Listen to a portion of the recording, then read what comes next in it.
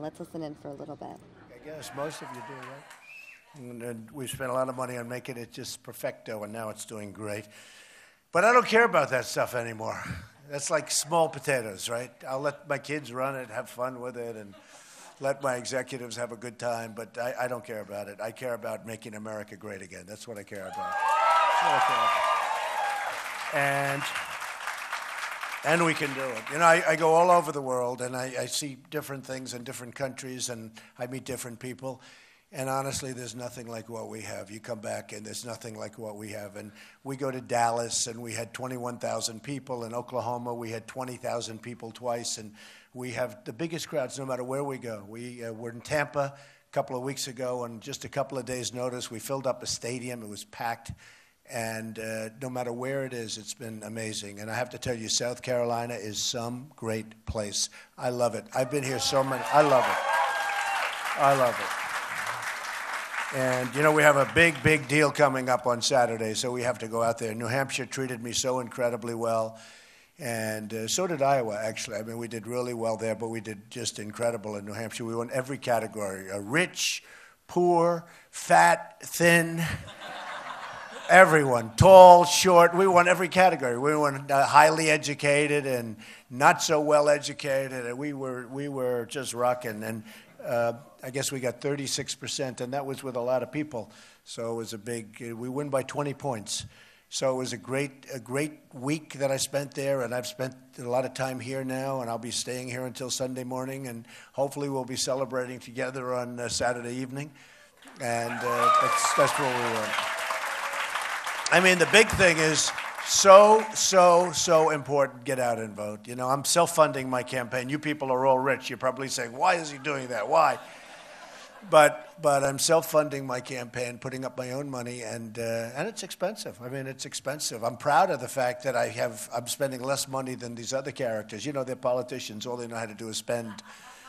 I mean, you know, Jeb Bush in, uh, in New Hampshire, Jeb Bush spent $48 million. I spent three. He was like at the bottom of the pack, and I was number one by a landslide. Isn't that what you want for your country, right? Is that what you want? I mean, these guys are spending money, the money they have for the commercials. I see commercial after commercial. And, you know, I, I put some, I look, I put some commercials on, you know why? Because I felt guilty. I really felt guilty. Because the press, look at all these guys back there, the press is saying, well, maybe he's not spending for commercials. Why isn't he spending? And you know, you're leading and you're leading. A great poll just came out about an hour ago. CBS, New York Times came out. National poll was great. Uh, we had a total ridiculous poll come out yesterday. Did you see that? Wall Street Journal. Let me tell you. I'll tell you something. That poll was so different than every other poll. And some of the people, the broadcasters, looked at it and said, This doesn't make sense. This is no good about a month ago, I had a pretty good poll. I never get treated well in the Wall Street Journal in any capacity, okay? But I had a pretty good poll. Thank you. Yeah, that's right. They want, they're weak on immigration. I agree with you. They're weak on a lot of things. They're weak on financial. But the Wall Street Journal did a poll last uh, month, and I was leading by quite a bit. Not as good as other polls because it's never good, but, but I was leading. I couldn't find it in the paper, right? I couldn't find it. And uh, literally, I looked all over. I couldn't find. They had all sorts of other things. Do you love the country? Do you this? Do you that? The only thing they didn't do is the main result. But it was in there someplace. I just couldn't find it. It was buried someplace in the back of the paper. Today they have like an outlier poll. Everybody said a certain broadcaster from NBC who did the poll with them said, "I can't go with this poll. This is ridiculous."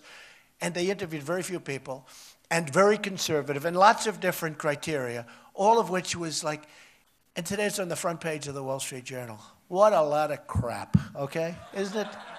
It's disgusting. And I'll tell you, in all fairness to CBS and the New York Times, they knew it was a phone. In my opinion, I have to say that. In my opinion, it's a phony poll.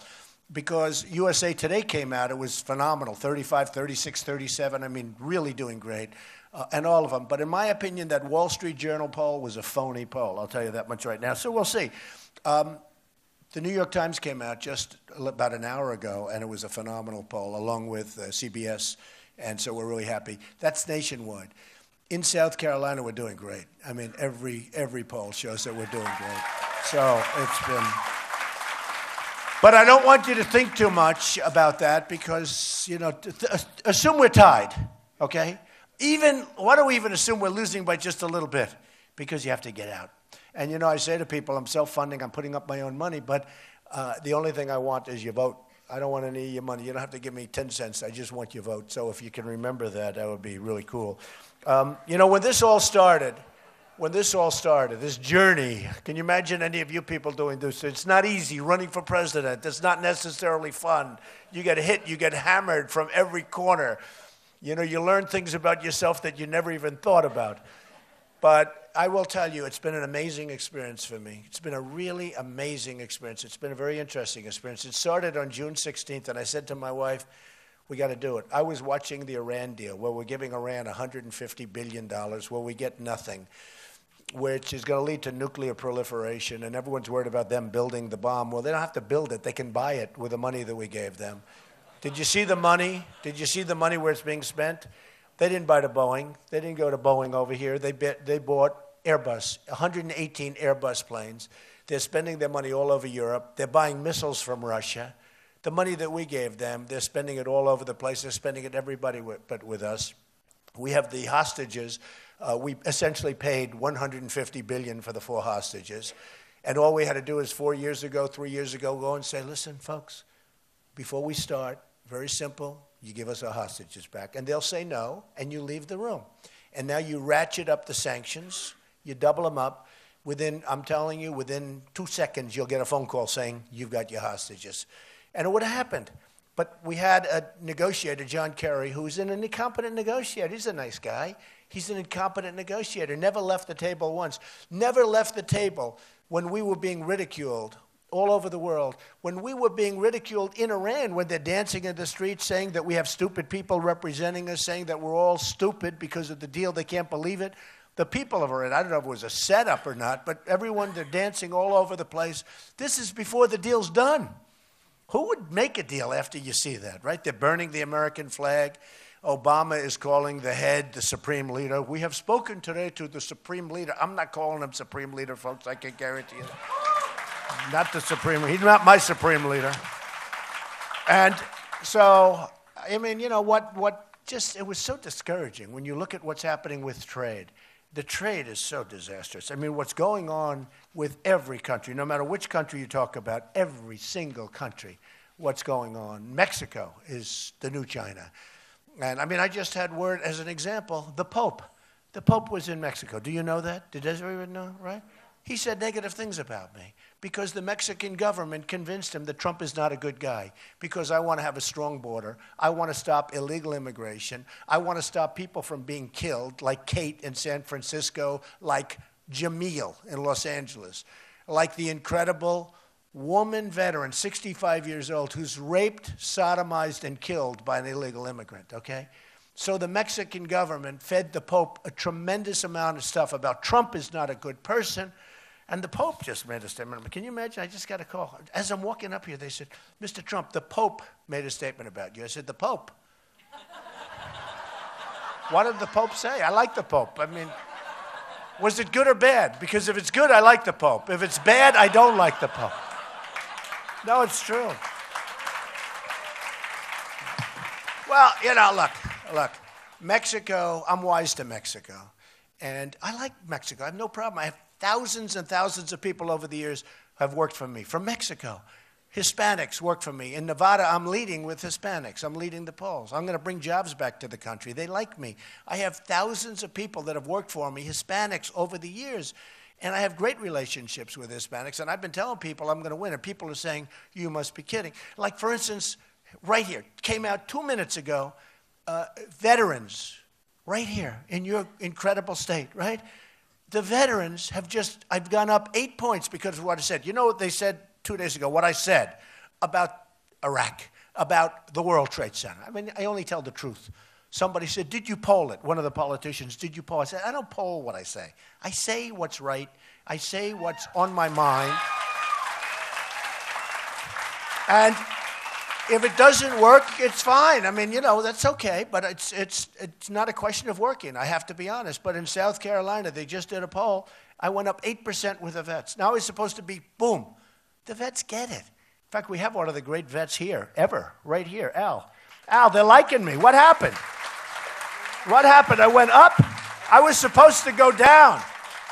I love the vets. I do more for the vets than these politicians don't do anything for the vets. They talk. So what happened? I went up in the poll. Right.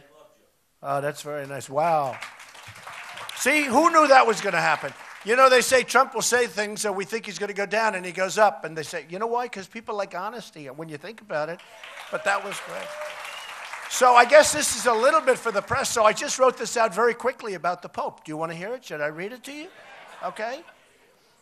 He actually said that maybe I'm not a good Christian or something. It's unbelievable, which is really not a nice thing to say. So it's a response from Donald Trump. It says, if and when the Vatican is attacked by ISIS, you know, ISIS, their primary trophy, very few people know this. I read this about two months ago. Nobody even believed it. Their primary thing, you've seen what they've done all over the Middle East. Their primary goal is to get to the Vatican. That would be their ultimate trophy. They want to do what they did to all of these magnificent artifacts and all of the beautiful museums that they've totally destroyed all over the Middle East, right? there, and I didn't know this. I read this like four or five months ago. I made mention of it two months ago, and everyone said, What are you talking about? They thought, like, I'm kidding. It's true. And now there are stories about it, not big stories, but there are stories about it. And I was checked by one of the reporters that said, They don't want to talk about the. Then he called up and apologized. The big thing, they want to get to the Vatican. So, if and when the Vatican is attacked by ISIS, which, as everyone knows, is ISIS's ultimate trophy, I can promise you that the Pope would have only wished and prayed that Donald Trump would have been president. Because true. It's true. Because this would not have happened. ISIS would have been eradicated, unlike what is happening now with our all talk, no action politicians. That's what's happening now. we, we, we had a General MacArthur, if we had a General George Patton, I mean, they'd be gone before they even got time to go over and uh, check it out, okay? It's a ridiculous situation. The Mexican government and its leadership has made many disparaging remarks about me. See, the Pope was in Mexico. The leadership's meeting. Oh, Donald Trump is a bad guy. He wants to build a wall. He wants to keep illegal immigration. It's terrible. They don't say it that way. They say, he wants people to stop having this and that. Look, I'm wise to them. I respect Mexico. I respect their leadership. Their leadership is much smarter, much sharper than our leadership. And that's the problem. That's the problem. You know we have a trade deficit with Mexico? Listen to this one $58 billion.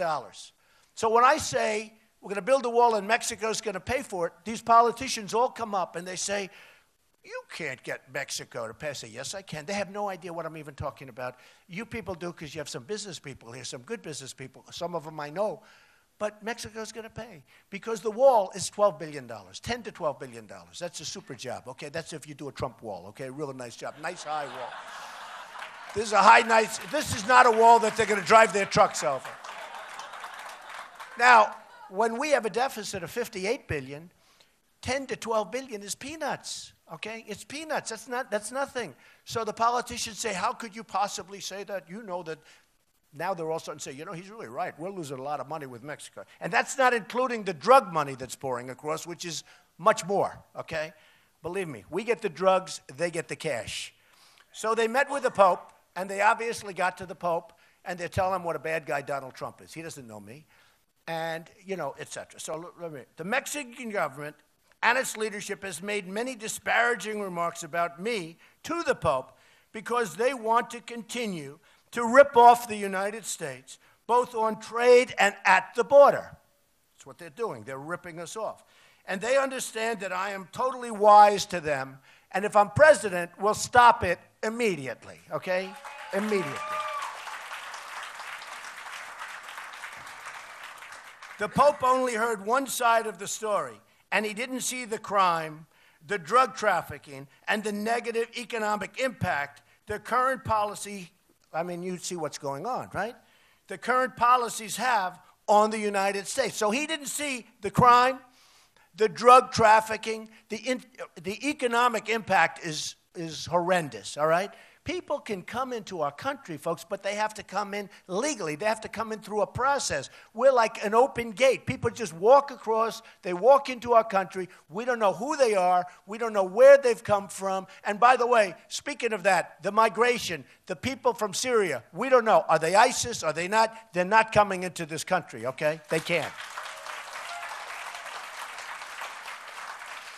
He doesn't see how Mexican leadership, and he doesn't understand it, he doesn't see how Mexican leadership is outsmarting our president, and Obama and our leadership has no clue as to the negotiation or anything else. In other words, we are being so badly out negotiated by Mexico. Mexico knows that if I win, those days are gone. We're not going to have a $58 billion trade deficit. Not going to happen.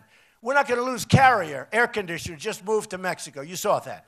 We're not going to have Nabisco move their big plants to Mexico. Not going to happen. Not going to happen. We're not going to have Ford building so big, $2.5 billion plant. And now, I've been talking about that for a year and a half. Now they're doubling down. I read the other day in the paper, they're doubling down. Ford is going in much bigger into Mexico. They took a plant from Tennessee that was going to go to Tennessee, and they went, the plant went to Mexico instead. When are we going to get smart, folks? When are we going to get smart? Got to happen. We can't let this stuff go on because we're losing our jobs, we're losing everything. The Pope isn't being told that. The Pope is being told that Donald Trump is not a nice person, okay? Donald Trump is a very nice person, and I'm a very, I, I am a very nice person.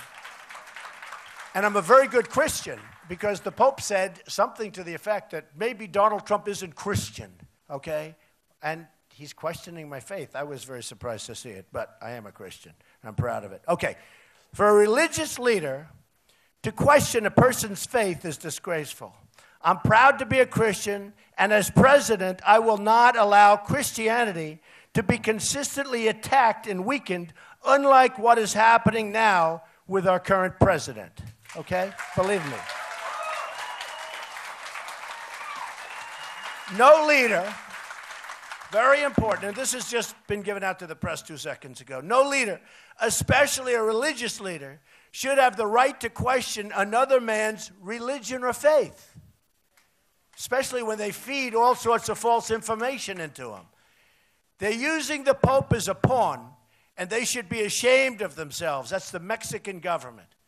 They should be ashamed of themselves for doing so especially when so many lives are involved and when illegal immigration is so rampant and so dangerous and so bad for the United States. Okay? Period. That's it. Period. So, I mean, I come to this beautiful place and I'm looking, I'm looking, everything's so beautiful. The people are beautiful, everything's nice. And I get hit. The Pope just made a statement. Oh, good. Did he say good things? No, I don't think you're going to like it so much. So this is the beginning as I'm walking in, okay? So you are the first to hear it, okay? This is a breaking story, right? Breaking news. So we have to do something about illegal immigration because our country is being decimated. And speaking of Mexico, and again, I have nothing against Mexico. I like Mexico. I have nothing against the leaders of Mexico. I think they're very sharp, very smart, very cunning. They're far too smart for Obama. They're far too smart for our leadership. When you look at Carrier going there, what do we get out of it? Okay, Carrier. So I saw the other day, I guess somebody was using the cell phone camera. I saw the other day the whole speech made by the executive. We are moving to Mexico, your jobs are gone, blah, blah, blah, right? And it was very sad.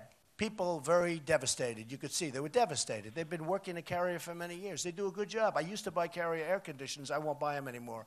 Hopefully, I won't buy them because I'll be president. I won't care about them. Right? But I buy a lot of air conditioners. I buy a lot of a lot of product. Unfortunately, almost everything you buy now is made. You buy televisions. You go to South Korea. You buy. I mean, do we make anything anymore here? We don't make anything. Yeah, we make good golf resorts for you to live in.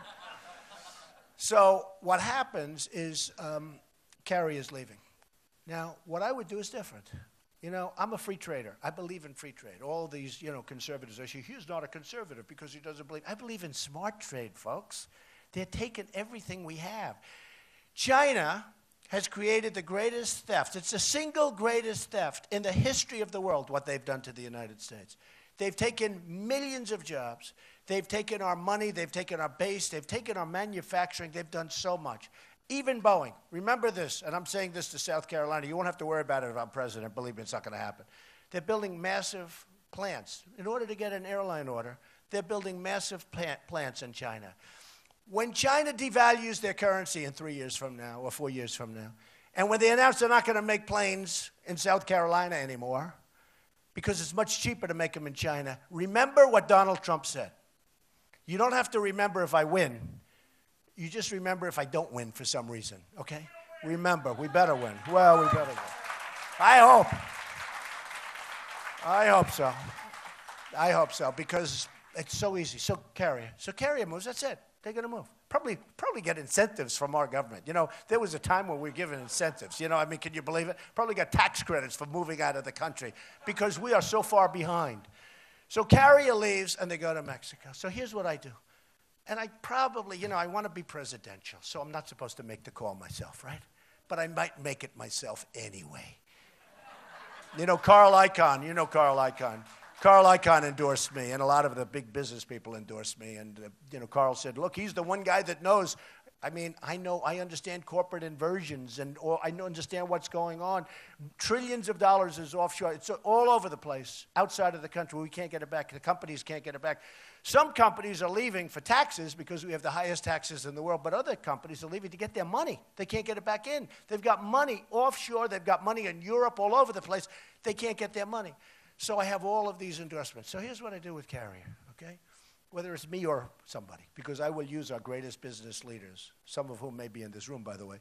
I will use our, we have the best business people in the world, but we don't use them to negotiate our trade deals.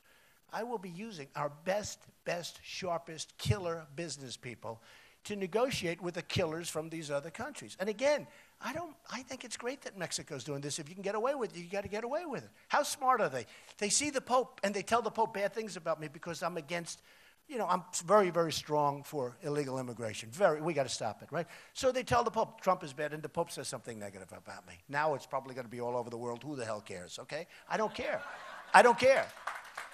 I don't care because we have to stop illegal immigration. We have to stop the massive crime. By the way, we have right now 100. This was as of last week reported. 179,000 illegal immigrants in our country who are criminals Okay? These are criminal, illegal immigrants. We take care of them, we watch them, they commit crimes. You know the cost of this and the devastation to the families? Kate in San Francisco, Jamiel, I mean, one of the greatest young men shot in the face. Kate shot in the back in San Francisco by somebody that should have never been here. We are, we are so incompetently run. Then you have sanctuary cities where people can be there and it doesn't matter. I mean, practically they can be whatever they want to be and they get away with it. We have sanctuary cities. Nobody even heard the term. I don't think anybody here did. Did anyone know about sanctuary cities? We had sanctuary cities. We had five or seven in Florida while Bush was governor. It's sanctuary cities. He never told us that. We have, we have a tremendous problem. We have to clean up. We have to be proud of our country again, folks. We have to go back to the basics. We have to be proud of our country again. So, so we're losing our businesses. So I would essentially, whether it's me or one of my people, and I have some tough people, we you have to use the right people. But call up carrier, say, folks, we don't want you to leave. Oh, but we're leaving. We're leaving. Why are you leaving? Because we're getting some good deal or they're getting good financing from somebody in the Mexican government or something. Okay, smart. Mexico should try and get them. But we should try and keep them.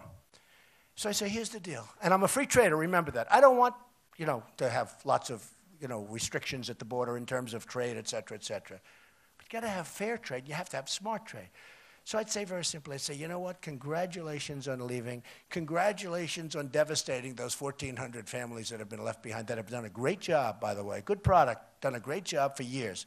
Congratulations. But here's the story. You go to Mexico, every air conditioner that you sell that goes into the United States, we're going to charge you a 35% tax, okay? Let's see if your numbers still work. And I'd say, let's see if your numbers still work, because I'll bet you they don't. And they'll call me and they'll say, Oh, Mr. President, but here's the difference. I'm self funding my own campaign. I'm not getting paid by their lobbyists, by their special interests, by their donors, by their stockholders. I'm what I'm doing right for the people. I mean, I speak before thousands and thousands. I'm, I'm doing what's right for the people. I don't care. I don't need the money. I don't need any money. So I'm, I'm doing what's right for this country, okay? And the politicians can't do that. They can't do that. We have people heading up campaigns that are the heads of the drug industry, as an example. Woody Johnson, Johnson & Johnson. He's heading up uh, Bush's fundraising campaign. Did a good job, raised $150 million for a guy that's going nowhere. I mean, you know, when you think of it, right? No, he raised $150 million for a guy got, you might as well take it and throw it into the ocean and let the kids collect it. It's got more value. But, but Woody Johnson, Johnson and Johnson. Now, here's a thing that I didn't even know. And a friend of mine found out, the Mar-a-Lago Club. You've heard of the Mar-a-Lago Club. He's a member. He comes up to me, a big doctor. He says, Donald, it's so brutal. Obamacare is such a disaster. I have now more accountants working for me than I have nurses. It's so complicated. It's driving me. He hates it. Okay. But he said, Do you know, Donald, that the, and he's a smart cookie. He said, Do you know that the federal government doesn't negotiate drug purchases? I mean, drugs to make you better, drugs. They don't negotiate. They're prohibited from negotiating. That the United States government pays sort of like if you walk in, if Mrs. Schwartz walks into a drugstore to buy drugs to get better that we pay the same price practically as her. I said, that's no possible, not possible. He said, it is. Then immediately, you know, being the person that I am, I said, oh, it is, of course, because the politicians are all taken care of by the drug companies, and therefore they don't have negotiation, right? That's what it is. There are billions, tens of billions, hundreds of billions of dollars left out there due to uh, policies. You know, a lot of times when you see, a, you think the politicians are stupid and you think the deals are bad, they're not bad. They're good for them. They're taking care of the lobbyists and the special interests, okay? Because they can't be that bad. You look at some of these deals, even the Iran deal, I'll bet you there's something involved. I mean, it's hard to believe, but look at these companies in Europe that are making a fortune. Airbus, I'll guarantee you, they have probably lobbyists. They probably knew that some of this money was going to buy 118 Airbus planes. 118 planes, not one Boeing. And Boeing's better. I like it better too. I have one. But Boeing's better. But think of it 118, they probably knew. They probably had lobbyists for, uh, for Airbus, and they probably had lobbyists for Russia. You know, Russia's selling missiles. They probably had lobbyists. Everybody has lobbyists. So when you see some of these deals that are so absolutely bad, they are bad. But the reason they're bad isn't stupidity, it's in a way dishonesty, okay? It's sort of called legal dishonesty. But in a way, it's dishonesty. And when they go up and they say to one of the people running, like Ted Cruz, he, has got people, you got to see some of the people that are giving him money. Forget it, folks. Forget it. You got problems. He's taking money from people you won't believe. Check out his list of people. But when they go up to Cruz and they go up to these different people that are running, every single one of them on both sides, by the way, but on my side, I'm the only one, I'm on both sides, I'm the only one self funding, period. And I feel sort of foolish. You know, my whole life has been about money, money. I want money. I want money. It's greed. I want money. And now these guys are coming up. They want to give me millions. I have a guy come up to me the other day, Donald, I'll give you whatever you want, millions. Where? How do I? I said, I can't take it. You know, it's hard for me to say that because my whole life is, it's hard. I feel a little bit like, uh, am I okay? Am I going crazy here? And I say, I don't want it. No. And every time the guy sees me, he's a very rich guy. He said, Don, he doesn't even understand. I said, no, that's okay. Don't worry about it. You know, you don't have to do anything. Don't worry. It's okay. And every time he sees me, like once a month, I see him at, at a club, at the Mar-a-Lago club. He's a very, very rich guy. And he says, Donald, I, I don't understand. You never got back to me. I said, uh, yeah, I don't really want your money. Uh, don't worry about it. Don't worry about it. And he can't understand it. He can't understand it. But I would have the greatest fund in history if I ever said, I'm going to do it. But I will tell you this. I will tell you this. I think it resonates with the voters. I, I, you know, for a while I was saying, I don't think I get any credit. I mean, I'm going to spend a tremendous amount of money. I've already spent a lot. Even though I've spent less than these people, I've spent a lot, you know, because I'm somebody like you. We watch it, we spend it wisely, we're careful, et cetera, et cetera, but we spent it wisely. And I'd spend as much as I need, but we don't want to spend it if we don't need it. I mean, I'm looking at some of the money spent, it's incredible. But when they put up their money, to the head of the drug companies and to all of these different, and the drug companies come in and they've got, and I'll tell you something, I know these people. At the last debate, I walked into the room, I looked, I said, oh man, they're all the lobbyists, all the, I know a lot of them. Those are all the special interests. I did a really good job at that debate. Everybody, Drudge said I was number one, Time Magazine said I was number one. Every time I said something, there was like, yeah, but every time I said something, there was like dead silence in the room.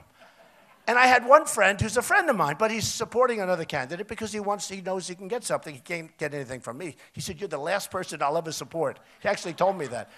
But he's a lobbyist and he, he's supporting it. And he starts booing me and he's laughing and booing and waving to me. Okay? And I'm sort of like waving to him because I understand. I mean, I get it.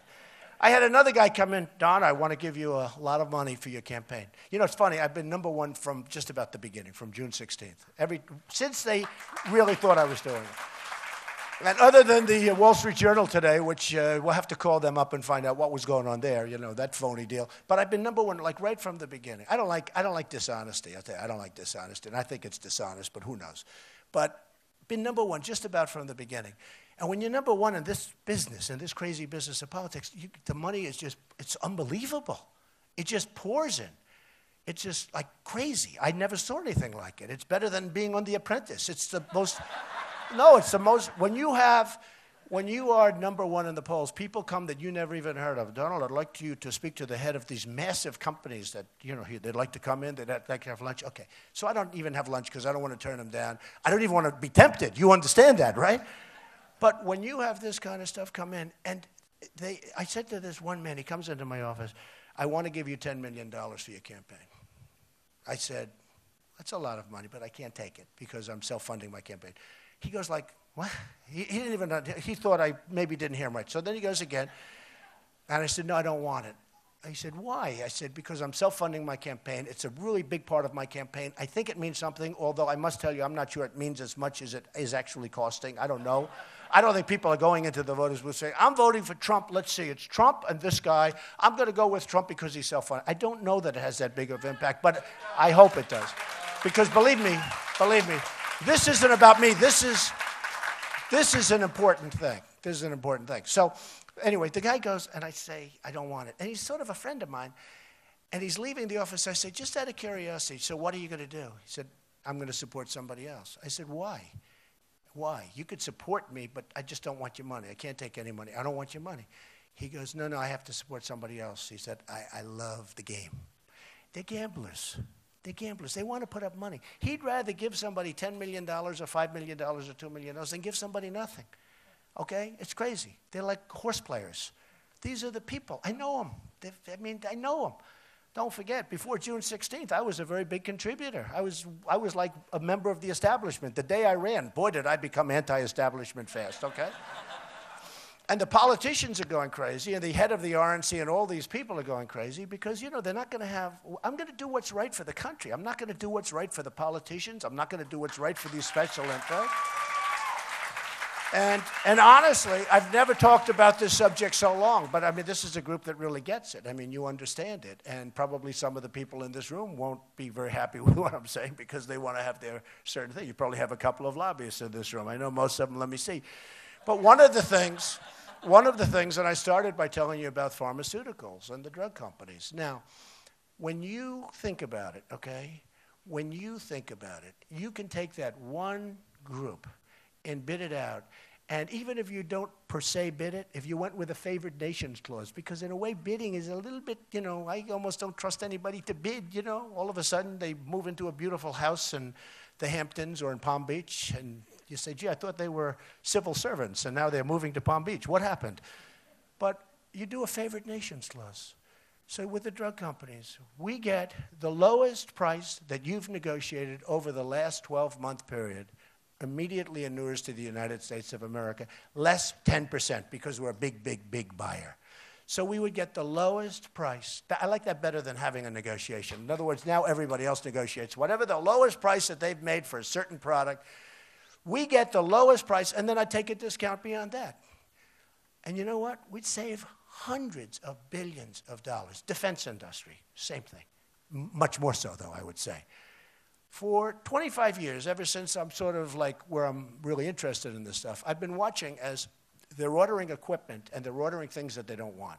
You know, you've been seeing the story, of the airplane that they didn't like as much as the other one, that they're getting equipment that they don't need, that they don't want. Well, the reason is because those companies that make the equipment are politically astute. They have taken care of these people that I'm with, they have taken care of lots of other people that I'm not with, and they order equipment that they don't want. I'm going to make our military so strong, so powerful, you have no idea what we're going to do because we have the technology. But, but we're going to do it for a lot less than anybody thought possible. And we're going to get the equipment that the generals want and the soldiers want and all of the people want that are running the equipment. We're not going to get equipment that, you know, and I've seen it. The airplane. Oh, well, we didn't really want this airplane. We wanted the other one, but we got it. You know, the politicians are making the decisions, okay? We're going to get the best stuff. We're going to be so strong. Nobody's going to play games with us, folks. Nobody. We're going to get the best stuff. There'll be nothing like it, what we could do. And we're going to save a fortune. We're going to save a fortune. So, with the military, that happens. I tell you about the pharmaceutical stuff. We're going out to bid, okay? Save hundreds of billions of dollars. With the military, you're talking about much bigger numbers than that, but we'll have a much better. Somebody would say, Will it be better or not? I remember the United Nations, right? So I testified in front of a great group of senators, actually, who uh, were terrific. Uh, in fact, your senator from Oklahoma, who just said horrible things, he said Ted Cruz is the most dishonorable, dishonest person I've ever met. What he said is unbelievable. He cannot stand him. But they asked me to testify in Congress about the World Trade Center, about the World Trade Center, but also mostly about uh, the United Nations. Because they were doing a renovation of the United Nations, and they said, we would like to understand this. You built a building across the street that's 92 stories tall. We are renovating the United Nations and we're going to spend $1 billion. I said, No, you're not. You're going to spend 4 billion because by the time they kill you with the overruns, you will spend $4 billion. No, no, no, it's 1 billion. Okay. How much did you spend? So there was a story in the New York Times that said, I built the building for $322 million. 92 stories, condo, Trump World Tower, beautiful building right opposite the United Nations. That was 322, about $320 million, right? Now, they're going to renovate the United Nations, which is a much, you know, which is not a big deal, and they're going to spend a billion. So an ambassador from, I think it was Sweden, called up, Mr. Trump, could I meet you? Why? I'm on a committee. We don't understand how can you spend 320 million and build this incredible building, brand new, beautiful, and yet we're spending a billion dollars to just fix up the United Nations. I said because of two reasons: corruption and incompetence. It's very simple. Oh, it's true. So, this man, I think he was the ambassador to Sweden. It was a while ago, five years, six years. This, this man is a terrific guy. He said, I'd like to go public, and I'd like to this. Could you meet the head of the United Nations? I met the head of the United Nations, Kofi Annan, at that time. I met him, and he had no interest in my. All he wanted was a press. In fact, I'm sitting there in a chair, and there's a big curtain, sort of like this and I didn't know what was going on. And all of a sudden, the curtain opens, and there was so much press, and they're taking pictures. That's all he wanted. He didn't care about the cost of this thing. So what happened is they brought in the man that's in charge of it. So I said, Are you using a boiler system? Are you using New York steam? What are you using for heat? He said, I have no idea. He had no idea. He didn't know boilers. He didn't know anything. This guy knew nothing. He was in charge of construction. So they were at a billion dollars. I said, this is not going to cost a billion. This is going to cost four or five billion, which turned out to be exactly true. It cost a fortune, okay? So I offered to do the job for $500 million. I said, I will do the job sight unseen. They say, well, what's the difference? I said, here's the difference. The difference is you'll have a much better job for 500 million than you'll have for, in my, I actually predicted it would cost $4 billion if they do it themselves because Boy, you have people out there that you don't even know about, and you won't ever read about that. They're really, really rich, just so you understand. Real, they could move to Kiawah very easily, believe me. You got some rich people out there. But I said, here's what's going to happen. You're going to have a tremendous cost overrun that happened. You have people that don't know what they're doing, but they probably do know what they're doing very well. And, but they said to me, What's the difference? The difference is I'll have marble floor, they'll have terrazzo. I'll have better elevators, they won't. With me, you don't have to move out, they're going to have to move out. Under their scenario, everybody had to leave the United Nations, rent office space, big trouble, hard to get in Manhattan, and then come back. I was going to do it, everybody in place, right? Everything was better, and I never heard from them. I never heard from them. And then the next time I heard was a few years later when the thing was totally out of control and it's cost a fortune and all that. Well, the same thing is true with our country. Our country, we will spend less money but we'll have better roads, better airports. You know, our infrastructure is a disaster. We spent in Iraq, which was a horrible decision to go into Iraq. Okay, you know that. I mean, I hope you know that. And I should get points for vision because I said right at the beginning, don't go into Iraq, you're going to destabilize the Middle East. We spent $2 trillion in Iraq, and now it's much more than that, but $2 trillion, that was as of two years ago. Thousands of lives, wounded warriors who I love all over the place, okay?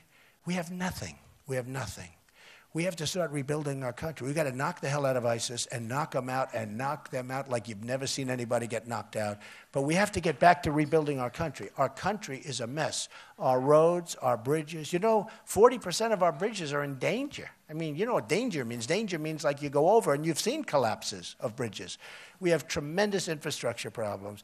And by the way, wouldn't it be great to have a great builder in charge of like a country that has to spend billions and billions and trillions on infrastructure? Because I am. I mean, what I do. You know, I'm, I'm building the old post office on Pennsylvania Avenue, and we're way ahead of schedule and under budget. We're two years ahead of schedule. I actually said to my daughter, let's not say two years because it doesn't even sound believable, but we're actually two years under schedule, ahead of schedule, and under budget.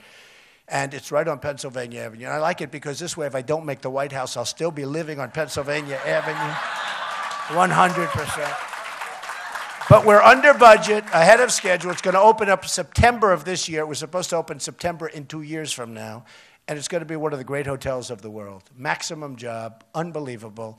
It's going to be one of the great hotels of the world. That's what we need. That's the thinking we need in this country. That's the thinking we need in this country. So I tell the people, I say, well, what would be the difference like with the military? I say, here's the story. We'll spend less money. We'll have much better equipment. We'll have much happier people. Everybody's going to love it. We're going to be stronger, better, just like the story with the United Nations. What's the difference? 4 billion versus 500 million. Well, the 500 million, the United Nations will have marble floors instead of, frankly, parquet. But, but they'll have marble floors. They'll have everything will be the best. Same thing with us. We can do that. I mean, we can do that. We have the wrong systems in place. We have tremendous corruption. We have tremendous, tremendous corruption. You look at what's going on in the Veterans Administration, it's one of the most corrupt enterprises that I've ever seen, okay? We can straighten it out. We're going to make, that's why Al is one of the most respected vets in the country, and he was up in New Hampshire, and we got tremendous support up in New Hampshire for the vets. I mean, beyond what anybody even came close. But they have confidence in me. We've got to take care of the vets. Our vets are being decimated. Our vets are being treated worse than illegal immigrants in many cases. It's true. It's true. They get things, they get things that our vets, that our vets can't even think about getting. I mean, the whole thing is crazy. I mean, think of yourselves. They go to doctor's offices. They have four day and five day waits before they can even see a doctor in some cases. Four. Can you imagine you, you go into a doctor's office and they'll say you have a five day wait? that doctor's in trouble. Is that a correct statement? I mean, you know, as an example. So we've got to take care of our vets. We've got to take care of our military. We're going to make trade. We're going to bring back our jobs. We're bringing them back. And we're going to have our greatest people, but we're bringing them back. We have the greatest negotiators. We're bringing our jobs back from China, many of them. I want to see Apple computers made in the United States. What good does it do when they're made in China? What good does it do? And we have to get them to stop devaluing their currency. And remember this we have the cards because we have this pot of gold. That's not such gold anymore, by the way. You know, we owe China $1.7 trillion, we owe Japan $1.5 trillion. How about Japan? They make cars, biggest boats I've ever seen. They come pouring off these massive boats from Japan, just pouring. We give them practically nothing. You talk about trade. They do these cars. You've never seen ships like this, so big. I was in Los Angeles recently and the cars are pouring off the ships from Japan. So they sell us millions of cars. We sell them like nothing. We give them nothing by comparison. Where's the fairness there, folks? We need to bring smartness back to our country. We need to bring negotiation back to our country. We need to bring honesty back to our country. We need to get deals that are great. We have to bring our manufacturing back. Uh, recently, a friend of mine ordered uh, Komatsu tractors from Japan. He's always ordered big excavator, big company. He always orders Caterpillar. But he said, I couldn't do it. He felt badly. I could see. I said, What's your problem? He said, I feel guilty because I ordered Komatsu tractors. They're from Japan. He said, Donald, they've so devalued the yen that I owed it to myself and my family, my wife. I owed it to my employees. To buy. I bought it for much cheaper. What's the difference in the equipment? He said, Caterpillar's better, but not that much. I mean, I, I can't, I had no choice. He said, so he bought Komatsu equipment. Well, that's what's happening to us. We're being outsmarted by very smart people, and we don't have the people. It's like uh, the New England Patriots playing some high school football team. We don't have, we don't have the people in place. We don't have the right people that are doing this. This is like a great surgeon. This is like you need somebody that's incredible. This is not easy stuff. These people have it naturally. When I take Carl Icahn, I say, Carl, take a look at the Chinese trade deal. I got the greatest guy. You understand that. I mean, and he doesn't want money. He doesn't want it. He'd love to do it. I mean, he'd love to do it. So we're going to make a lot of changes if we get in. We're going to make our country rich again. A woman came up to me. She said, Mr. Trump, that doesn't really sound nice. I said, look, 19 trillion. We just made that horrible omnibus budget. You saw that deal. It took like two hours. They, I never saw a deal go so fast. Obama got everything he wanted. You know, Obama's a lousy negotiator except when it comes to negotiating with the Republicans. Is that right? He's a terrible negotiator. But with the Republicans, he gets whatever he wants. You look at it. He got, in that deal, he got so much. He got money to bring in the migrants from Syria, who we can't take because we don't know who they are, where they are, where they come from. We'll do a safe zone and we'll have the Gulf states pay for it. Not us. We don't want to pay. But we'll have the Gulf states. They're not putting up any money. They have so much money. Saudi Arabia makes a billion dollars a day when the oil price was high. Now they make half, okay? Not so bad. But, and think of Saudi Arabia. We protect Saudi Arabia. They were making a billion dollars a day. They have more money than anybody. And we lose money. I mean, we rent military areas, we pay them rent. And without us, they would have been gone years ago. I mean, who's thinking about this? Japan, we protect Japan. Okay. But here's the problem. So we protect Japan, lose a fortune, by the way. We protect Japan. If we're attacked, Japan doesn't have to do anything. If Japan is attacked, we have to be in World War III, okay? I mean, who's doing this stuff? So we protect Germany. Germany is a behemoth, an economic behemoth.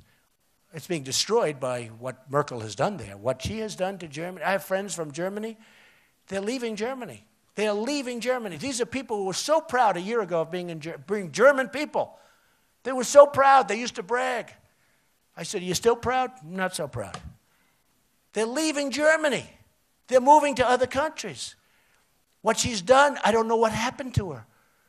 I thought she was a terrific leader. And I don't know, maybe she got carried away with herself. I don't know. Tr- tr- like tremendous crime. You look at Sweden the other night. Did you see what happened in Sweden the other night? Sweden. Sweden doesn't have crime. They're going around, it's a disaster. You look at Brussels. I was in Brussels 20 years ago. Brussels, beautiful Brussels. It's like an armed camp. They had to cancel New Year's Eve because of horrible, horrible threats of massive crime. We have to get smart, folks, and we can't be so politically correct. Oh, that's not a nice thing to say. That's not nice. And actually, a lot of people, and maybe it happened to a certain extent in New Hampshire, they thought I'd get 27, 28%. I ended up getting 36, 37%. And I think what happened, a lot of people said, you know, the poller goes up to Trump. Well, would you vote for Trump? No, no, no. But then they get in the booth. I want Trump. I want Trump. It's true. We might poll higher. So, so I love this place. I, th- I have so many friends that live here, and I have uh, such great relationships here. And I've been here a couple of times where I, I was, you know, at the place. I actually played, and it was, it's fantastic. But we have a country that has such potential. We have a country that is so great we can make it truly. And right now, it's got a tremendous headache. And I, will tell you, if Hillary Clinton gets in, or this guy Bernie wants to tax you 95%, if he gets in, everything's for free except for the people that have to pay tax. And you know what happens to those people that leave? It's like the companies. The companies are leaving now because the taxes are too high. My tax plan brings the corporate taxes way down. It has to, because the companies are leaving. When you lose Pfizer, how good a company is Pfizer? They're moving. It's gone. It's, they're in Ireland. They're moving to Ireland. They're moving because the taxes are too high. And they couldn't get their money back in. They moved to get their money.